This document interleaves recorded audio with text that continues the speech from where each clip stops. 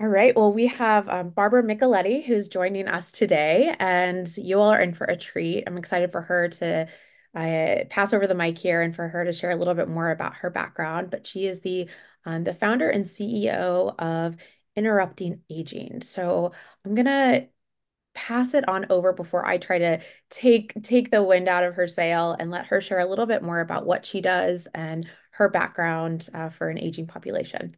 Over to you. Well, thank you, Lauren. I really appreciate the offer and the opportunity to be here. So I wanted to thank you for that. Yeah. I don't know if you want to start off with why, my why story, or where you wanted to go from here. Yeah, let's go ahead and just start there because I feel like hearing a little bit more about your background, how you got into the space, um, why you founded this company. Tell me a little bit more. Well, it started off back in 1998 when I became a gerontologist. hmm Now, I explain often what a gerontologist is. After 26 years of being one, it simply means we studied the aging body from hmm midlife, from the whole lifespan, but we focus on older and elderly people and what they go through and they experience their life experiences. So I like to say I love to help people love growing older, is what I like to say that I do. But also, it also started off a little bit tumultuously when I started my insurance career. So let me give you a little history on that. Back in 2006, I Uh-huh. started off as an insurance agent where I opened my insurance agency. hmm I literally went from being a stay-at-home mom the one day to the next day becoming this insurance agency owner and a franchise owner with a company called Brooke Corporation. hmm Now, this journey was very challenging in that right after I started my insurance company with zero clients, zero clients back in the day, I built that up from 2006 to 2008, and even one use of a company car.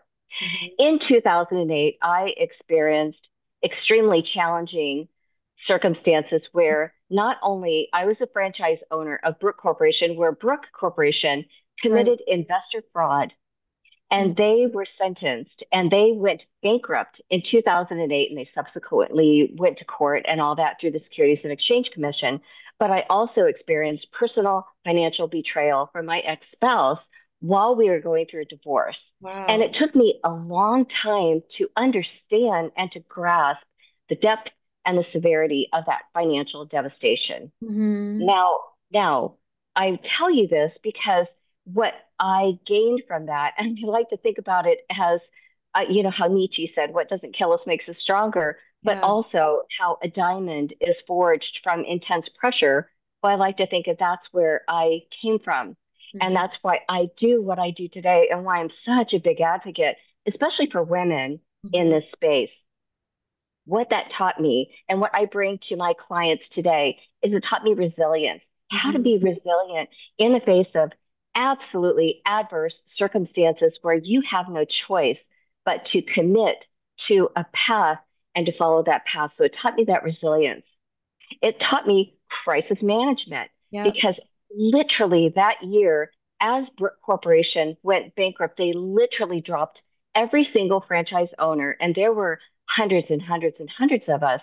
But as I hmm went through my own personal financial betrayal in my own family dynamic, I had to take that whole crisis management onto a new level and Right. learn learn how to navigate not only personally, but professionally. So, what did I do? I was able to contact every single client that I had and hmm let them know that this is what happened. So, I was very transparent and Right. very honest with them, letting them know this is what happened. I'm regrouping as another company called B&B Insurance Agency, and I'm hmm going to bring you over to this new company. Then I contacted, back then it was 11 11 insurance carriers and I reached out to them. They knew exactly what was going on because a lot of them lost money too, right? hmm Because premiums were kept by this corporation. So they Right. lost a lot of money. So they were happy that I was able to have that resilience and can go through this crisis management and commit to the strategic problem solving Right. by taking all these clients and bringing them over and putting them right back into their policies. So Right. every single client followed me every single insurance carrier took me back. hmm So that taught me how to quickly adapt. And it taught me the value of transparency and uh, being a fiduciary to your clients. And that's what brought me to where I'm at today, talking with my clients, helping my financial professionals, the insurance professionals, to be that fiduciary, to demonstrate the transparency and the integrity with their clients. So they, in turn, will trust them to know what and do the right thing for them. Uh-huh. I think so much what you talked about is so much in the heart of entrepreneurship, right? Like grit, tenacity, being able to work under extreme pressure, you know, keep that smile, right? It's that that Yes. perseverance that um sometimes it's always like people see the surface of the uh you know they, they they they see the top but they don't see everything else that's going on underneath. So, you know, you I think sharing that it brings to light some of these I think real um, challenges that we go through, but they kind of thicken our skin, especially if you go to, you know, start your own venture or you're, it's going to thicken your skin somewhere along the way to be able to have that stamina.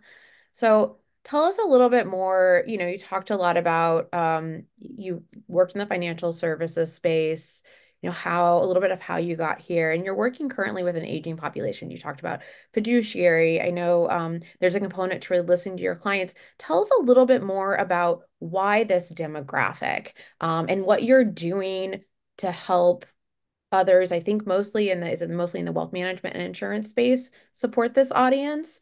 Can you share a little bit more about that and kind of what this audience looks like when we say aging demographics? I know that's a lot of questions there, but I'd love to to kind of unpack that a little bit more. That's okay. We can just we can dive right into that. So the reason I chose the aging population is because of that gerontology background. And again, gerontology simply means aging, that we're all aging. And hmm here's the thing, we are living in this rapidly aging population. We're living to age 100 really is this new normal. When you do a, a Monte Carlo, they often advise the advise the financial professionals use H100 as that benchmark. So we and and I can say as a as an aging expert, as a Yeah. gerontologist, we are living in an aging population. So Mhm. aging population, and you and I, Lauren, talked about this off offline here for a few minutes, and I'll talk about what that means quickly. So an aging population is, to be clear, we are aging the minute we're born. We don't start aging at 40 or at Right. 65.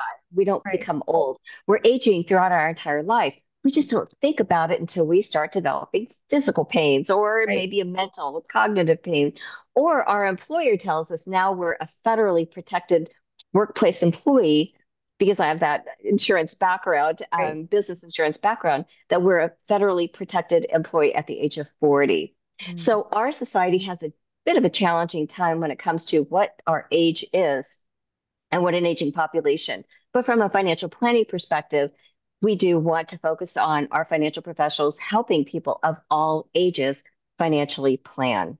Okay. And what so what brought me in Yes. was the gerontology. And then the other story I'll share with you, another one of my why stories is when I was that insurance agent, I had regrouped my company, B&B Insurance, and then I sold it to a national brokerage and I became a top producing salesperson, a commercial salesperson for that organization. Mhm. So it was during my tenure as a business insurance advisor that I can't tell you, Lauren, how many clients I helped, not only with their commercial insurance portfolio, but with their personal aging issues as well. And Mhm. some of the most devastating ones were the cognitive impairments that I was able to step up as a gerontologist and help my clients with. That in part helped me transition over. I made the decision I couldn't help them as just an insurance agent. It Right. ultimately led me to where I'm at today. Okay, so just to take a step back, and sorry for this is the maybe a little bit of the marketer in me because I'm like, okay, I want to narrow it a little bit more. And I know, and I and I can understand the definition too of right, we're we're aging all throughout our lives, but is there a particular demographic that you're primarily focused on, like ages 40 to 60 or to 80, that you really kind of zero in on when you're working with these professionals? Do you mind sharing a little bit more on that side? I do. And that's a very good question because I do focus on those age 40 and above. hmm We'd like to see the financial planning happen in people's 20s and 30s for sure. But when we hit age 40, that's when we start developing chronic diseases. Oftentimes, we can hit them in our 30s. Women, we develop a thyroid impairment in our 30s, which is very typical for us, which in, now that's considered a chronic disease. So we develop, we start developing as a whole, men and women, chronic diseases in our 40s. Financially preparing for this aging issue and our financial planning, we want to focus on those age 40 and above and thinking about not only our financial planning and that retirement goal that we have, but also thinking about what are these future aging, current and future aging issues that we have Mhm. Okay. or can develop. So then in kind of furthering that definition, 40 and above, you had alluded to health issues, right? Um, and you had also talked about uh in earlier folks that have kind of these mental it, mental um stop gaps as they're as they're aging. So like what kind of uh how do I say like what kind of uh, challenges are you pulling apart? Just maybe some examples like you had like the health issues. What other conversations are you having uh, to help individuals or really maybe to help advisors or insurance agents um, work with these individuals through these kind of quote unquote aging issues? So one of the aging issues you brought up is the cognitive issue. Mhm. One of the one of the most devastating diseases that any of us could face is developing Alzheimer's. So there's the dementias as an umbrella. If you think of, de of dementia as an umbrella term, and Right. under the umbrella term, you can have Alzheimer's, you can have Lewy body dementia, you can have frontotemporal dementia. Uh, so those are some of the more, I say, popular ones. Alzheimer's by far is the most is the most widespread. And Mhm. unfortunately, we women, of the 6 million plus people, could be close to 7 million people now, who live in the United States with Alzheimer's, two thirds are women. So it's Mhm. definitely a future aging issue that we want to think about from a financial perspective. So for the financial professional, to have their conversation with a single woman or a single man or a couple, that conversation absolutely wants to come up. Have you financially prepared for the the the chance? It's abnormal aging. It's not normal. Right. We all Right. don't develop that. But have you thought about if this happens to you, will your spouse be your caregiver? Could be the husband as well. Just more women develop this. So to have a financial plan, have the conversation in Yeah. advance not when you start seeing signs. And even if you do start seeing those red flags of a cognitive impairment, which financial decision making is one of the first to go, then Mhm. have that conversation as Right. Soon as possible. hmm Exactly.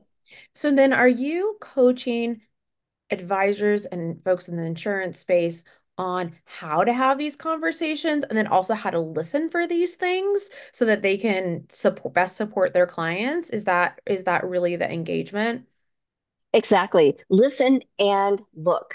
So hmm I like to see you can, I like to tell my clients, financial and insurance professionals, asset managers, bankers, you name it, that you are an ideal set of eyes and ears for your clients because they see them on somewhat of a regular basis, whether it's annual, whether it's every six months, but you can see physically how they are acting, or if their body is is you know all our bodies i mean we're just we're just breaking down over decades right as we right, as right. we age if we're lucky to get into old age our body just simply breaks down this is just our natural aging process some people's bodies break down even more so.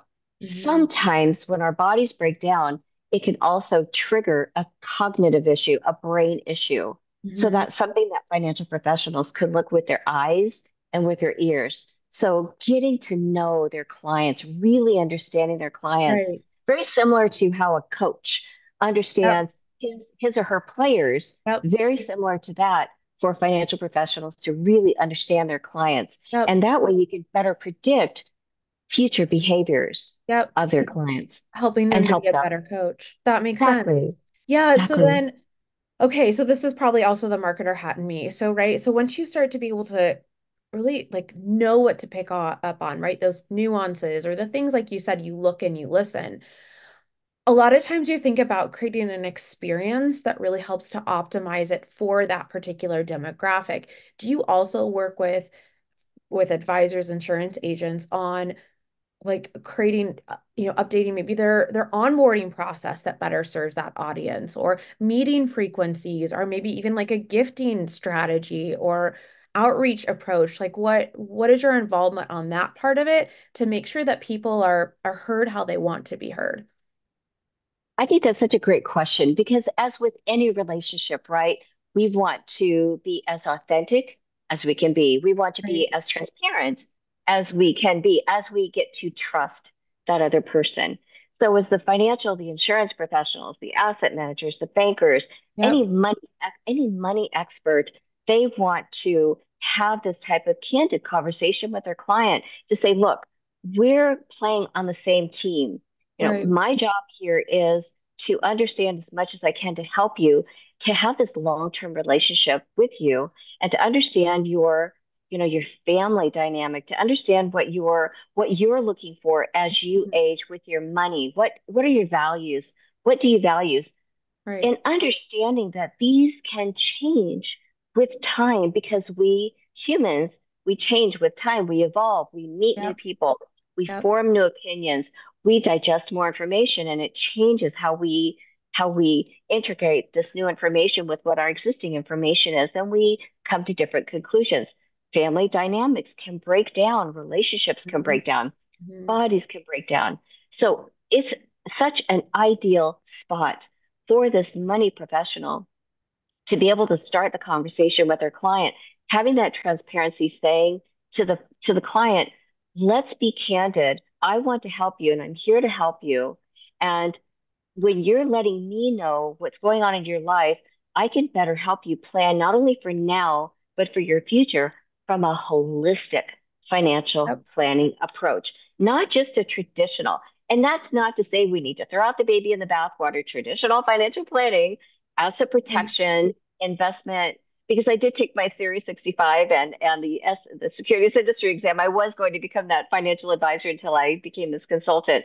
But having the traditional Yeah. financial planning process in place along with holistic financial planning, look at people as a whole human as Mhm. they age and, comp- and encompassing their aging process, their health, their mental health, physical health, their family dynamic, their legacy, what you talked about. What kind of legacy do they want to leave? You know, what inheritance, the estate planning, all Mhm. those things. Yeah, so helpful. Um, th there- there's a lot to cover, right? And I also really appreciate what you talked about earlier too, of there's not like a formulaic process, right? You have to be able to be nimble and adjust as individuals are moving, but being able to have that thinking and to be able to know how to listen and to to look and listen, as you said earlier, I think is um it's a it's a real tool, right? There's an art in all of that. So. Absolutely. Yes, Absolutely. want But but to your point, to your point, you can. So we talk about having a system. We Mhm. talk about having a repeatable process, right? Right. And especially if we're in the RIA space or a broker dealer, but I but I know your your audience is more of an RIA space.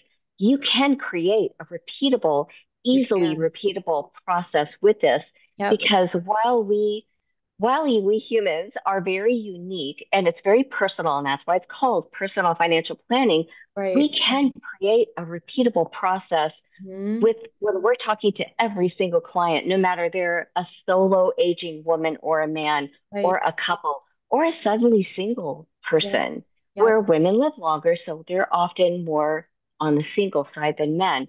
We can create a an easily repeatable process for this. I That's wanted just right. to get that in. so true. If you have the repeatable process that be it, you know, it takes out some of that thinking that's been done, right? But then it's Mhm. it's paired with that human side and that that touch. That, Exactly. yeah, Yeah, there's exactly. yeah. Okay, so I just want to be mindful of time. This is helpful to be able to, I appreciate you unpacking some of this, sharing a little bit more about your background. Because you have had so many conversations with, um, you know, different folks, you've really helped them to listen and learn. Are there any key things that you feel like, gosh, if just the general population knew more about I don't know, maybe fraud related issues or um, caring for their loved ones, uh, you know, kind of like what to expect, you know, and, uh, you know, kind of thinking forward about that. Are there themes that you often see that come up? And I'm just asking because these might be conversations that could turn into webinar topics for, you know, for advisors or for for insurance agents, or they could be partnership opportunities or what have you, and things that would be helpful for, um, you know, for for this for for an aging population to know about.